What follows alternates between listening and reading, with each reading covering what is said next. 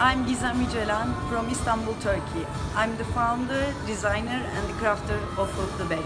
I studied fashion and textile design and in this huge fashion world I found myself in bag design because it has the great potential to design freely, meet different new materials every day and to create three-dimensional beauties. My dream was always go beyond and this award is the best opportunity to catch my dream, to introduce my brand and my idea to the world.